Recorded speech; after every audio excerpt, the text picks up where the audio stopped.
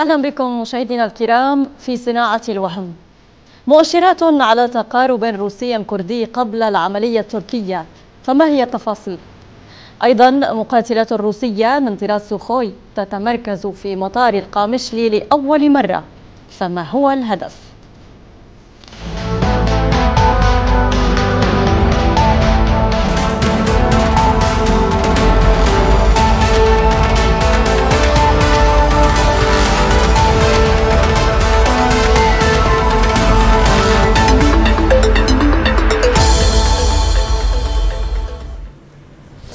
أهلا بكم من جديد. في ظل الحديث عن عملية عسكرية تركية ضد قسد في سوريا ظهرت مؤشرات جديدة على تقارب روسي كردي في الآونة الأخيرة. مؤشرات سياسية تمثلت بزيارة وفد من المجلس الوطني الكردي إلى موسكو ولقاء المبعوث الرئاسي الخاص للشرق الأوسط ميخائيل بوغدانوف إضافة للتعزيزات العسكرية الروسية إلى مناطق سيطرة قسد وفي سياق متصل أجرت الطائرات الحربية الروسية مناورات عسكرية على خطوط التماس مع الجيش الوطني شمال الحسكة وذلك بالتزامن مع حشودات عسكرية للجيش الوطني والتركي. نتابع التفاصيل في التقرير التالي. بالتوازي مع لقاء الرئيسين الأمريكي جو بايدن والتركي رجب طيب أردوغان في قمة العشرين بروما وحشود الجيشين التركي والوطني السوري استعدادا لعملية عسكرية تلوح بالأفق في سوريا. تحشد روسيا ونظام الأسد قواتهما أيضا في شمال شرق البلاد على مقربة من القوات التركية والأمريكية. قرب الحدود التركية السورية تحلق الطائرات الحربية الروسية في استعراض جوي فوق منطقة تلتمر قرب خطوط التماس مع الجيش الوطني وفق وكالة نورث بريس المحلية. ترافقت التحركات الجوية للروس مع تعزيزات للنظام على الأرض. تمثلت بإرسال قوات عسكرية ضخمة إلى ريف الرقة الغربي. ضمت 16 عربة عسكرية و150 عنصرا من قوات الفرقة الرابعة وفق شبكة عين الفرات المحلية. صحيفة عنب بلدي تحدثت عن مؤشرات على تقارب بين روسيا وقسد في شمال شرق سوريا لخصت أسبابها بالخوف من الانسحاب الأمريكي من المنطقة والفوائد التي تعود على الطرفين نتيجة التقارب بالإضافة لدعم قسد في مواجهة العمليات التركية وحاجة روسيا إلى ثروات المنطقة الشرقية في ملف إعادة الإعمار. ومما يدعم هذا التوجه حديث ما يسمى بمركز المصالحة الروسي السوري في دير الزور عن اتفاق بين الإدارة الذاتية والنظام وروسيا لإعادة نشر قوات النظام في منطقة الجزيرة وتسيير دوريات للشرطة العسكرية الروسية. كما سيتم العمل على تسوية أوضاع المطلوبين بمساعدة وجهاء ومخاتير تلك المنطقة. وإزاء تلك التحركات العسكرية والسياسية يدور سؤال حول مستقبل العلاقة بين قسد وروسيا. وما إذا كان التقارب سيذهب بعيدا بين الجانبين أم سيكون مجرد ورقة تلوح بها قسد كعادتها؟ حين الحديث عن نوايا عسكرية تركية. أرحب بضيوفي في هذا المحور بسام حجي مصطفى المعارض السوري من أورفا وياسر النجار الأكاديمي والباحث السياسي من إسطنبول. أهلا بكما.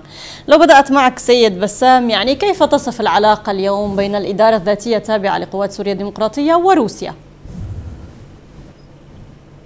يعني أنا بدي أول شيء أصحح تسمية آه، أقول بأنه ما في شيء اسمه إدارة ذاتية في شيء اسمه حزب العمال الكردستاني بين قوسين التركي الإرهابي. الذي آه، دخل الأراضي السورية واستغل الثورة السورية ليشكل على هامشها مناطق نفوذ تم تسليمها له من قبل النظام. هذا الحزب آه، يعني تاريخيا تلاعب بمصائر الأكراد تلاعب بمصائر الأتراك آه، قام بعمليات إرهابية وهو يكمل هذا الدور حاليا. في منطقة شرق الفرات مكنت القوات الأمريكية لهذا الحزب أنه يكون له نفوذ بحجة محاربة داعش اليوم آه، هذا الحزب آه، يتعامل مع الاحتلال الروسي يتعامل مع عصابة الأسد يتعامل مع الاحتلال الأمريكي يتعامل مع كل أنواع الاحتلالات من أجل البقاء. وهو في وضع حرج ويسعى دائما لعقد صفقات هامشية وصغيرة تمكنه من البقاء اطول فترة ممكنة لنهب مقدرات الجزيرة الفراتية السورية. لكن يعني روسيا ما الذي تريده يعني من التعامل مع قسد في هذه الفترة؟ صحيفة عنب بلدي تحدثت عن مؤشرات لتقارب بين الجانبين. روسيا دولة محتلة، دولة محتلة لسوريا. آه، استخدمت عصابة الأسد من أجل أن تكون واجهة لاستمرار احتلاله وهي تستخدم كل العصابات التي تستطيع أن تطوعها لصالح مشروعها وبرنامجها في احتلال سوريا والبقاء فيها واستغلال هذا البقاء أطول فترة ممكنة في المعادلات الدولية السياسية. بالتالي الروس اللي هن بالأمس كانوا حلفاء حزب العمال الكردستاني في عفرين وفيما بعد آه، تركوا حزب العمال الكردستاني لمصيره في أثناء سياق عملية تحرير عفرين اليوم ممكن يعني يرجعوا يعيدوا العلاقة معهم لقاء آه، تبادل منفعة وممكن بعد فترة يتركوها لمصيرهم وهكذا. نعم. سأنتقل إلى السيد ياسر. أهلا بك مجددا. يعني سيد ياسر كيف تقرأ اليوم هذا الحديث عن وجود تقارب روسي مع آه، قسد في سوريا؟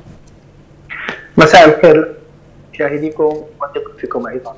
يعني تصوري يعني مفهوم التقارب يعني مفهوم الندية يوحي بالندية. أما أنا فأرى أن روسيا تستغل آه، ما يعرف بحزب العمال الكردستاني امتداد الواجهة السياسية له هي ما يعرف بالإدارة الذاتية، روسيا تستغل حالة الأزمة التي يعيشها وهي ترى أن الولايات المتحدة الأمريكية يعني تفسح لها المجال في استغلال هذا الأمر. المحصل أنا أريد أن أقول أن روسيا آه، تجد أن حزب العمال الكردستاني الآن في وضع مأزوم هو لديه قنوات تواصل سابقة وقديمة جدا مع روسيا من خلال يعني آه، ما قبل ما يعرف بالثورة السورية. وهو أيضا لديه من خلال قيادات قيادات قنديل له تواصل مع نظام الأسد. الآن يتم طبخه يعني ما يعرف بتفاهم معين يتم استثمار يعني آه، المرتزقة في البي كي كي لهذه الطبخة على حساب الكرد السوريين وعلى حساب السوريين المتواجدين في هذه المنطقة على وجه التحديد، أنا بتصوري ما قدمه حزب العمال الكردستاني للمنطقة الجغرافية شمال شرق سوريا وللأخوة الكرد السوريين هو نفسه ما قدمته داعش بالنسبة لهذه المنطقة سابقا، وبالتالي وكأنه كتب على هذه المنطقة أن يتم استغلالها من قبل المرتزقة. الإرهابيين سواء كان من يستثمرهم. هي الإدارة الأمريكية أم أنه يفوض الآن الجانب الروسي ليتم استغلالهم إذا بالنتيجة أنا أرى يعني ما هي نعم ما هي ما الذي تريد أن تصل إليه روسيا من هذه التحركات والتقارب مع مع قسد برأيك يعني؟ أنا أنا بتصوري يعني سيناريو روسي سيناريو واضح. هو ما حصل في جنوب سوريا بدأ الأمر بما يفهم بالمصالحات الوطنية وخصوصية ما يعرف بميليشيات أحمد العودة، لاحقا بدأت الأمور تتطور خلال سنة أو سنتين إلى أن يتم تفكيك هذه هذا الفصيل العسكري، ليست الإدارة الذاتية أو ما يعرف الآن من يدير يعني ليبك أو البيدي المتواجدين في مناطق شمال شرق سوريا ليسوا بأوفر حظا. سيكون لهم في بداية الأمر يعني نوع من المصالحات ونوع من التفاهمات ولكن في نهاية الأمر سيتم تسليم هذه المنطقة بالمجمل إلى النظام أمريكا تقدم رسالة واضحة هي إجراء التفاهمات التي حصلت في جنوب سوريا ما بين أمريكا وروسيا وبحضور الأردن كشاهد سيكون إجراءات مماثلة لها في شمال شرق سوريا ما بين أمريكا وروسيا وسيكون المستفيد بشار الأسد وسيكون المتضرر أهالي المنطقة ومنهم يعني المستفيد أيضا المرتزق البيكيكي الذي لا يعنيه الواقع السوري بشيء وإنما ما يعنيه فقط المكاسب التي حققها وشبكة العلاقات نعم. التي وفرها لخدمة مشروعه يعني المرتزق حول نقطة ذكرها السيد ياسر يعني سأعود بها آه، إليك سيد بسام. يعني آه، هناك مسؤول كردي تحدث بأن روسيا والنظام لن يقفا بجانب قسد في مواجهة تركيا لكن في الوقت ذاته هناك مصادر تحدثت عن مقترح لعودة النظام إلى مناطق قسد تحسبا للعملية التركية. النظام موجود في مناطق قسد النظام موجود في منطقة عين العرب كوباني وله آه، جنود. النظام موجود في المربع الأمني في القامشلي موجود في كل مناطق نفوذ قسد النظام وقسد لم لم ينفصلا عن بعض. تحديدا حزب العمال الكردستاني يعني اللي هو الجسم الرئيسي لقسد والأساس فيها والمستثمر الأكبر. الحقيقة إنه اللي عم بيصير إنه الأمريكان استخدموا حزب العمال الكردستاني في التمكن من الجزيرة الفراتية والروس أيضا استثمروا في حزب العمال الكردستاني ولاحقا هناك تنافس على الاستثمار. السوريين الآن بين فكي كماشي. المستثمر الأول الروسي يريد إعادة آه، بسط نفوذ عصابات الأسد ليكون محتلا دائما ومحتكرا اوحدا لسوريا. المحتل الثاني الأمريكي يستثمر في بقاء قسد وبالتالي الترويج لعمليات الانفصال والإدارة الذاتية وفيدرالية الشمال وما شابه. والطرفين بالأخير ما قدرانين يوصلوا للحل وبدهم يلجأوا بالنتيجة للشعب السوري وبده يرحلوا اثنيناتهم مع بعض. يمسكوا إيدين بعض ويرحلوا. سنتابع في هذه الحلقة مع ضيوفي لكن بعد هذا الفاصل ابقوا معنا.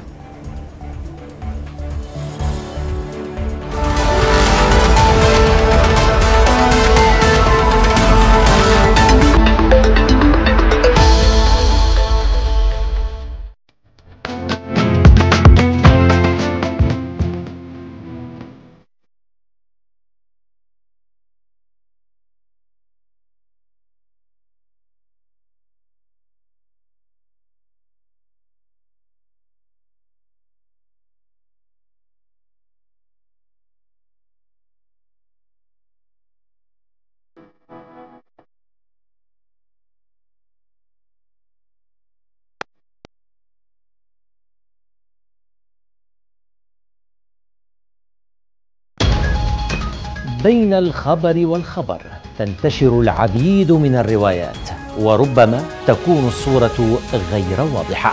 في برنامجنا المشهد الأسبوعي نرصد لكم خلال شبكة مراسلين المواضيع التي تهم السوريين داخل البلاد وخارجها لنقدم لكم الخبر دون تحيز ونكون أقرب إليكم وتكونوا أقرب إلى الحدث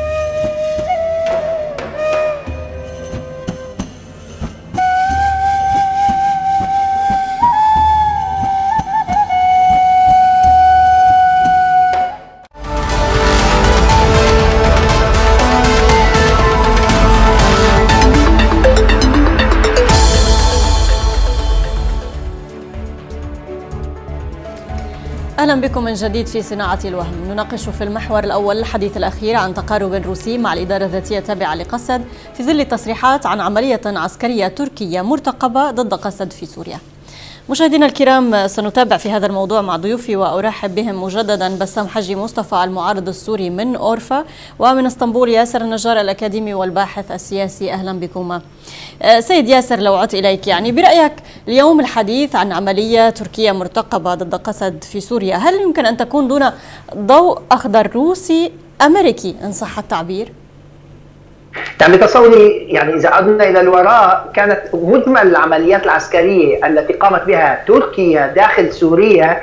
هي عبارة عن تفاهمات سواء مع الولايات المتحدة الأمريكية وروسيا ولم يكن هناك عمليا إلا يعني آه، كل عمل عسكري إلا من خلال التفاهمات ولكن بالنتيجة آه، الدول التي هي ليست على حدود مشتركة مع سوريا تتفهم الوضع تركيا بالنسبة لي أحيانا لضرورة العمليات العسكرية، أنا أتكلم عن الخطاب السياسي التركي الموجه إلى الحليفين الأمريكي والروسي آه، سواء في يعني في في ما يعرف في استقرار الوضع في شمال سوريا. أنا بتصوري الخطاب واضح جدا بأن أمريكا لا تعاني من وجود الإرهابيين على حدودها. وأيضا روسيا آخر همها ما يحصل في مناطق سوريا، أما تركيا فهي متأثرة بشكل مباشر، لذلك ما اراه أن هذه الدول تتفهم حقيقة مخاوف تركيا ورسائل تركيا باتجاه ضرورة ضمان الأمن الإقليمي التركي وفي يمكن أن يكون هناك تغاضي يعني تغاضي من قبل الولايات المتحدة الأمريكية وروسيا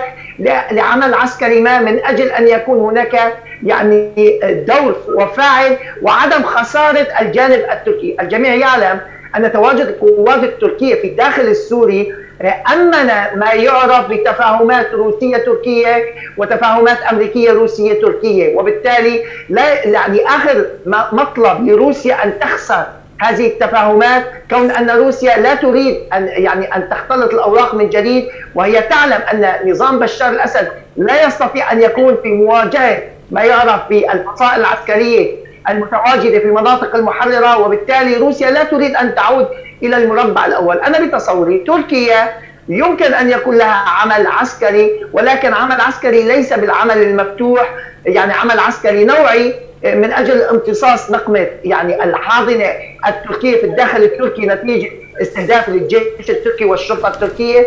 ويمكن أن يكون أيضا مبرراتها لامتصاص نقمة الحاضنة الثورية في المناطق المحررة ولكن بالمجمل تركيا لا تستطيع أن تقوم بعملية عسكرية مفتوحة. دون مثل هذه التفاهمات. وروسيا أيضا تستثمر حالة الحنق والخطاب يعني العالي اللهجة من قبل تركيا للضغط على ما يعرف بقسد ولكن بالنتيجة روسيا لا تريد أن تفقد البوصلة ما بينها وبين تركيا ولا تريد أن تختلط الأوراق فيما بينهم. وبالتالي أنا بتصوري عندما يصل الأمر إلى حاله مأزومة ستقدم روسيا تسهيلات لتركيا أو ستتغاضى عن عملية عسكرية محدودة وليست عملية عسكرية مفتوحة بشكل نعم.